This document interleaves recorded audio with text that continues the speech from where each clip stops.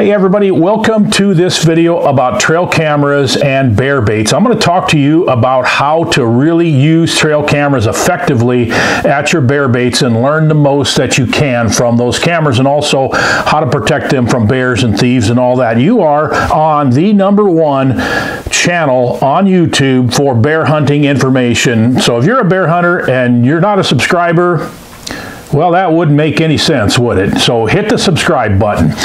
So let's talk about trail cameras here today. And uh, 20 years of bear baiting experience has taught me an awful lot about trail cameras, and I've learned so much about bears and bear behavior because of trail cameras. They've changed so much over the years.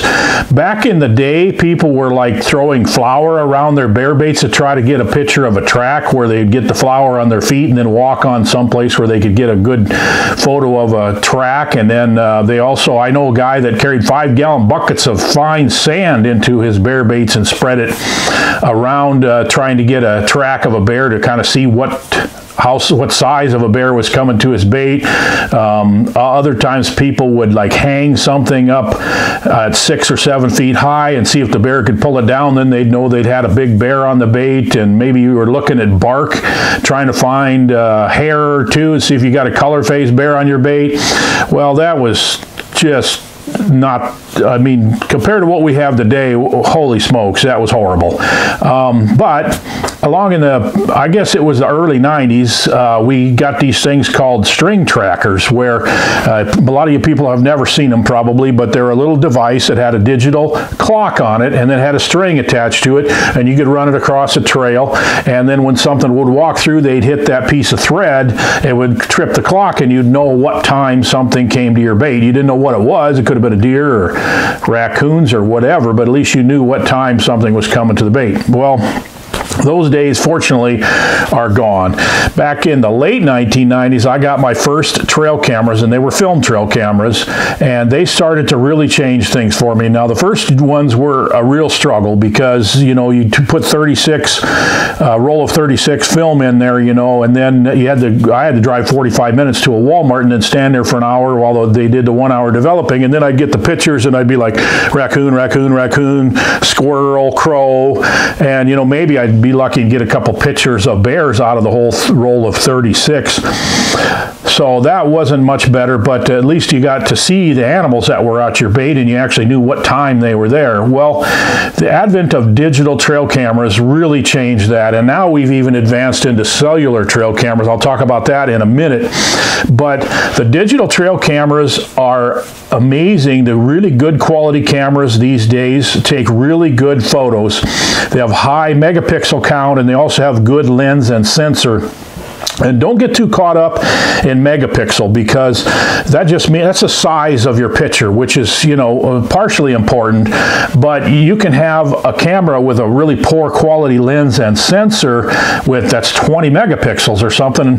And, and so with a poor quality lens and sensor, you don't have a very good picture, but 20 megapixels, now you just got a really big picture that's not very good. So, you know, don't get too caught up in megapixels. What's more important is, is getting a camera with a good lens and a good sensor so it takes good quality pictures.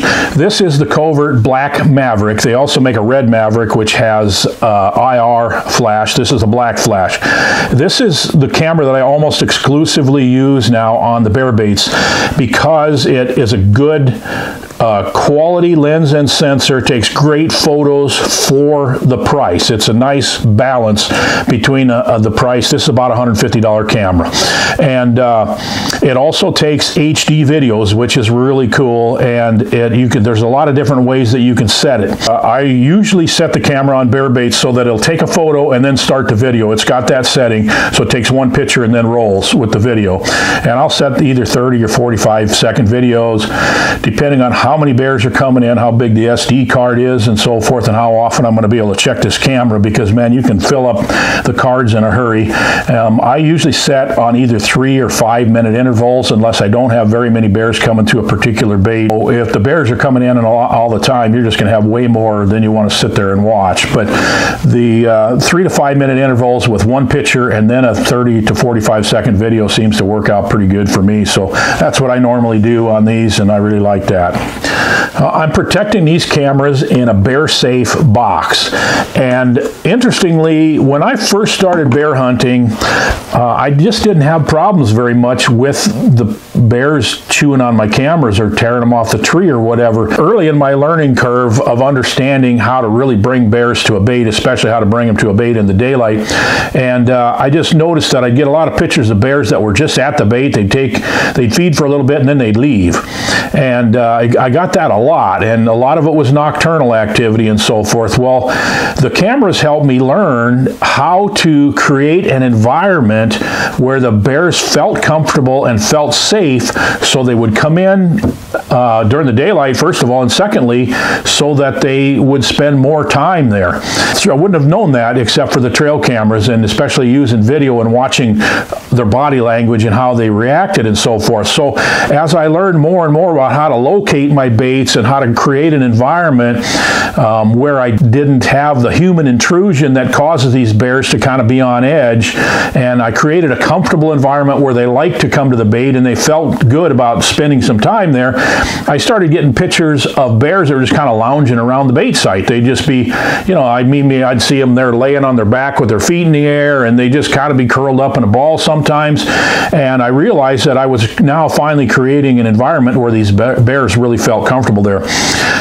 Well, that created a new problem is because when those bears are there longer and they're just kind of hanging out, next thing you know, they look over and they go, what's that hanging on that tree over there? And pretty soon your cameras have teeth marks punched through them and they're on the ground and a couple of cameras that were gone. I don't know if the bears took them or somebody else stole them even. So I went with the bear safe boxes now and I just put a lock on them and it, it would take a great deal of effort for anyone to steal it and the bears absolutely can't do anything with them at all. So that's all my cameras are in bear safe boxes now.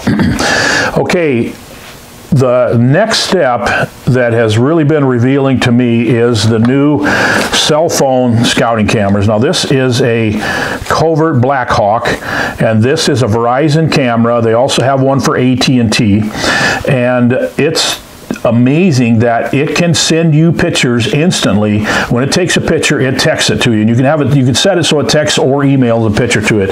All, all you have to do is be in a spot where you have cell phone service.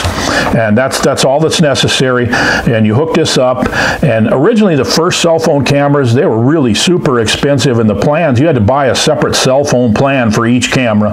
Nowadays, like this Blackhawk, it's $11.99 a month and you can turn it on and off off whenever you want. If you're going to use it for a month, you just turn the billing on and they bill you the $11.99, I believe it is. And if you have more of them, the additional ones are $7.99 a month. So, um, it, you know, for under $20 a month, you can run two. And then when you're not using it, you just turn it off. I use it, of course, for deer hunting. I use them a lot, almost year round. But um, so these have changed a lot. And you know right when there's a bear on your bait and you can really pattern them because it's like, oh, it's, you know, two hours before dark and there's a bear on my bait right now. You know, there's been times when I've been sitting there and I was sitting in a tree stand and boom, I got a picture of a bear on a different bait. Um, so sometimes maybe you're better off not knowing. I don't know. So I've even put this camera in a staging area, I guess I like to call them, is sometimes a bigger mature male bears will hang up before they come to a bait, um, and you know in the daylight maybe darkness is coming, and they'll they'll sit back in an area that's that you can't see, but they can just kind of smell and observe and listen and so forth. And they'll sit there for a little bit. Um, you can put these cameras in a staging area. You'll get a text that tells you that there's a bear sitting there and he's getting ready to come in. So um, the information that these things have provided have just been terrific.